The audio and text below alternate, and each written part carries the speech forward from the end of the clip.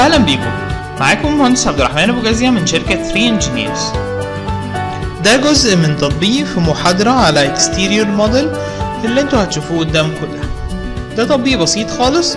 أتمنى إن أنتوا تستفيدوا منه وتشوفوا الفكرة ورا التطبيق.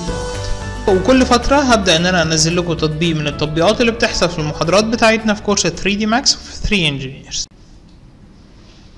Okay. من file view image file دخلت الصورة دي. أول حاجة هرسمها هرسم box. طب ليه؟ أنا box شايفين ال box اللي ده؟ أنا كده شايفين ال box ده؟ أنا هرسم ده أول واحد وهو ده اللي هقيس عليه ال project كله. طب إزاي هتقيس عليه ال project كله بص مبدئيا هو ده اللي هيظبط لي النسب الارتفاعات أنا لو ظبطت الارتفاع هيبقى سهل قصاد الارتفاع اللي موجود ده أقدر أنسب إن أنا عندي كام عرض. تمام؟ فأنا بالنسبة لي تقريبا الارتفاع ده لو أنا بتكلم في 4 متر يعني أنا دلوقتي عندي ده 4 فده تقريبا 3 3 و4 ب 12 فال extrusion اللي جوه هنا 12 دايما لما تبص لحاجة زي كده بص على ال lines كلها دي مربوطة مع بعض. فما تروحش تعملها لي box وتروح تعملي سقف ده لوحده وده لوحده وتعمل له extrusion لا انت روح امسك ال box ده. الأول مبدئيا اظبط ال units وبعدين قول له والله أنا ال length بتاعي آه ال height بتاعي 4 متر. okay؟ وبعدين على أساس ال height ده هبدأ أنا أنسب الطول والعرض. اتفقت؟ تقريبا الطول قده مرتين. يعني مثلا لو بنتكلم في في ال length بتاعي فهو هي أو ال width بتاعي هيبقى آه 7 متر. أو 6 متر؟ 7 متر okay. وال ده 3 في 4 ب 12 قول مثلا 12 أو 13 متر. ده كده ال box اللي تحت. ال box ده موجود مرة هنا ومرة هنا فمعنى كده إن إن هو متكرر ثلاث مرات. ف هنسب بيه ارتفاعاتي. ما بين كل حاجة وحاجة تقريبا بلاطه 40 سم فأنت هتلاقي نفسك محتاج تاخد نفس ال box ده. copy وهاخد بيه الارتفاع اللي هو 40 سم اللي هو المسافة اللي ما بين كل واحد والتاني. وخليها 0.5 okay وه snap ده على ده بحيث إن يبقى أنا كده بالنسبة لي خدت الايه الارتفاع بتاعي بصورة مظبوطة. هاخد منه كام؟ تلاتة. اللي هما التلاتة اللي موجودين دول. واحد اتنين تلاتة. okay؟ هاف من ال front المسافة دي أربعة فدي تلاتة قدها يعني تقريبا ده 12 متر. يعني أنا لو خدت من ده تلاتة تقريبا هجيب المسافة. أنا ال boxes دي كلها واخدها reference هرسم line ال line ده هيبدأ من أول هنا. دايما لما تيجي ترسم line وانت بت snap على 3 دي اختار اتنين ونص. ليه؟ اتنين ونص ما يهموش ال box اللي قدام ولا لورا بيرسم على ال grid. تمام؟ فلما ي snap ي snap على ال grid point فأنا واقف هنا على ال grid أهو. هرسم هاخد الارتفاع ده وهرجع تاني مرة تانية هنا. بس خد بالك دوس shift وكمل. معنى كده إن أنا خدت الارتفاع بس okay؟ هطلع بيه وهاجي هنا أنا محتاج آخد الارتفاع عند النقطة دي. يعني أنا واقف بس بال snap وب click.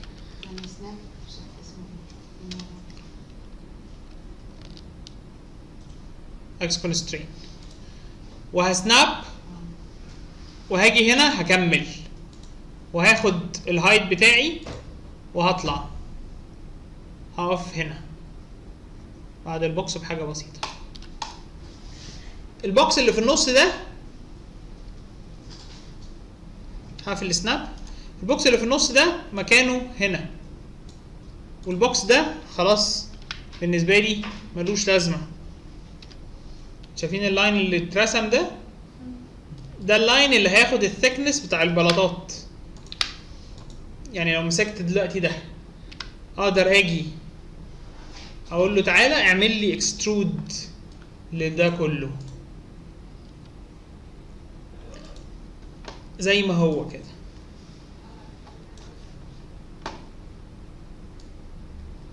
وبعدين البلاطات كلها واخدة ثيكنس فهديله شل الثكنس ده قد إيه؟ قلنا 0.5 تقريبا. طب هو خد الشل في العكس. هديله شل في الإنر بدل الأوتر. 0.5 بتاعتك أهي. اظبط كتلك. الكتلة دي هتيجي هنا. الكتلة دي مش موجودة أصلا. طيب لقيت إن أنا لأ ده over قوي وده محتاج يتحرك كده شوية. ارجع لمين؟ لل vertex عادي خالص. اظبط نسبك. ده محتاج يدخل كده شوية. ركز بقى في اللي أنا هعمله. الكتلة دي محتاجة تطلع هو الجزء اللي هو ال gray ده إحنا عملناه بال line عن واحد. ال gray ده؟ آه. آه. يعني ده رسمناه رسمناه line كله بال line همسك الشكل ده تاني وأرجع لل vertex وهمسك ال vertex دي واقول له show end result بحيث إن أنا أبقى شايف نهاية اللي أنا بعمله. يعني أنا هنا ال line ده محتاج يترفع لفوق عشان دول يبقوا في النص. ال line ده محتاج ينزل لتحت عشان ال box ده. ركز بقى في اللي هنا. شايفين ده؟ راجع لورا صح؟ هات لي كده two vertex دول وارجع بيهم لورا. تمام؟ ثانية واحدة. ده ده من هنا straight معنى كده إن ال vertex اللي موجودة تاني همسك دول وأرجع بيهم لورا كده.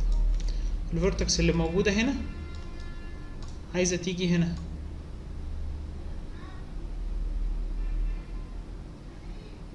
طب أنا مش عارف أظبطها بالظبط. افتح snap على ال X constrain ال snap بتاعك. 3 دي عادي. وال snap يبقى على إيه؟ على ال vertex يبقى أنا دلوقتي هتحرك بال vertex دي تبقى في نفس السوا بتاع ال vertex دي. يلا يا ابني. أهي.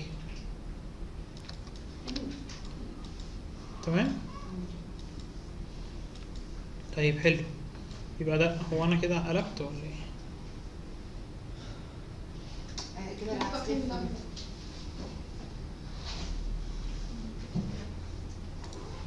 ثانية واحدة.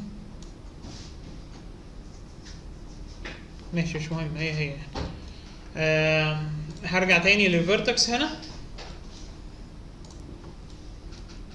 وهنا ماشي straight عادي. ورجع آخر واحد ده.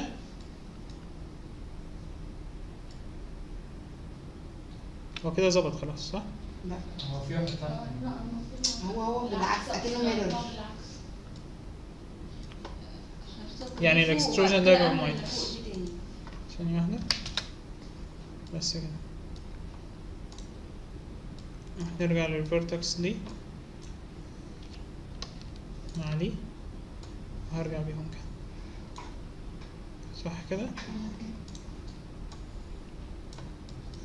okay خلاص ده كده ماشي straight وده اللي خد الميل وده اللي دخل كده عندي. خلاص كده أنا ما عنديش شيبس تانية أو حاجة تانية تتعمل في الكتلة دي. هرجع بده كده لورا. دي هتحرك بيها كده. الكتلة دي هطلع بيها لقدام.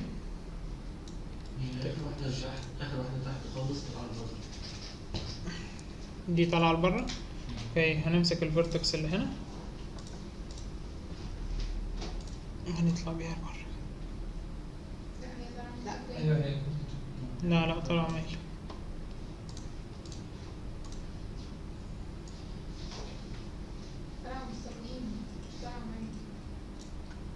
okay طالعة مستقيم يبقى إحنا هنطلع بدي كمان.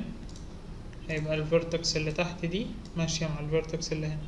بس هتطلع بتظبط مع اللي فوق.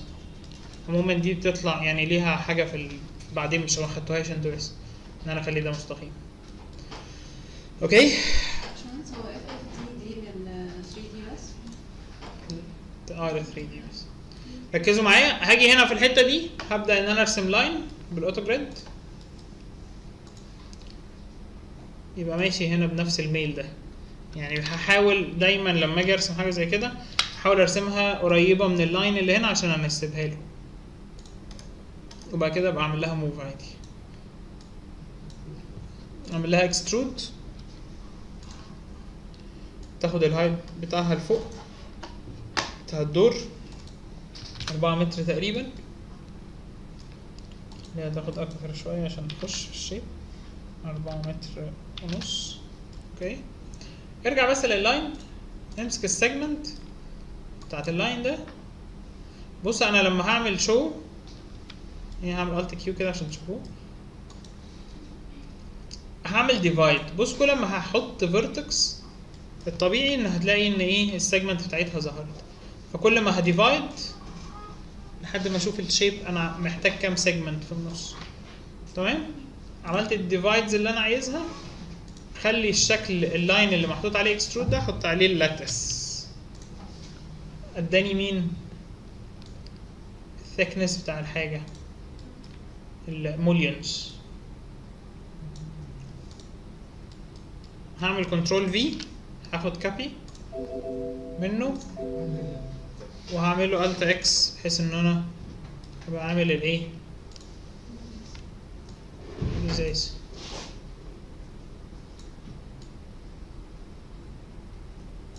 أهو. نفس الكلام. هنفذه هنا.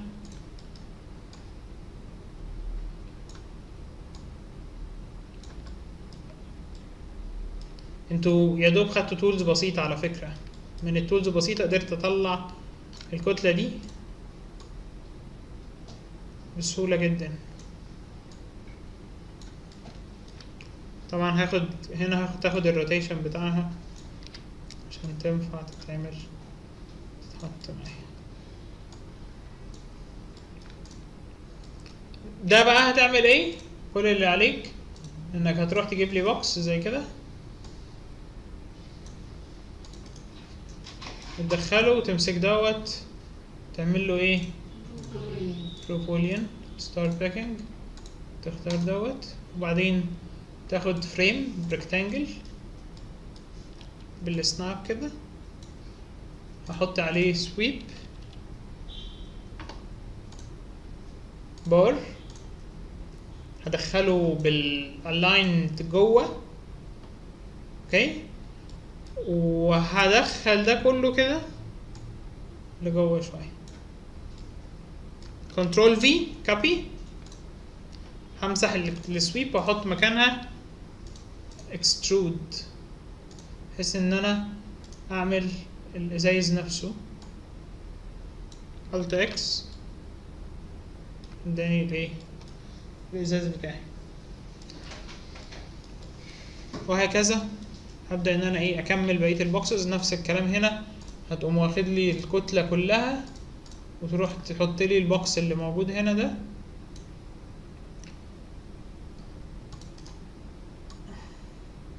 شوف بقى هتوسطنه إزاي؟ وناخد ده ونقول له إيه؟ compound objects pro boolean start picking. أنا فتحت الفتحة اللي موجودة هنا دي. وارجع بعد كده أحط عليها rectangle مثلا. بالمنظر ده. واحط عليها ال frame ده ازاز اهو. أحط له sweep أحط sweep bar وهكبر ال width اكبر ال length شوية. نطلع لفوق كده.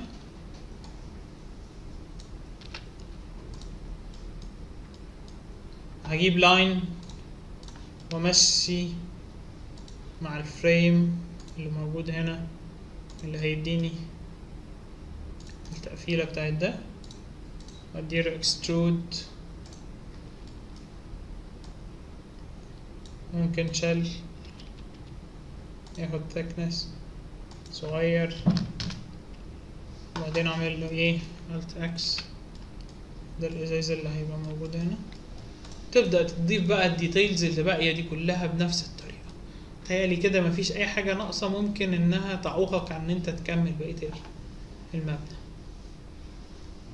ككتلة كل ده كده سهل إن أنا أبدأ أكمل شغلي سهلة. اتخضيتوا في الأول الصورة اتخضيتوا. أول ما شفتوا الصورة أول مرة مش هتعرفوا تعملوها. بس هي تولز عبيطة جدا. بجد مخضوض من اللي حصل ده؟ يعني انت مش هتعرف تعمله؟ ده عبيط. يا جماعة والله العظيم مبنى عبيط جدا. عبيط يعني انت انت بتتريق ولا لا. والله بجد هو عبيط فاهم بس يعني مش متخيل إن هو بالتفاهة دي. تحس بغباء. لا. مش غباء. هي الفكرة كلها إنك مع الخبرة ومع الوقت كل ده بتاخد يعني هو أنا ليه بعملها قدامك.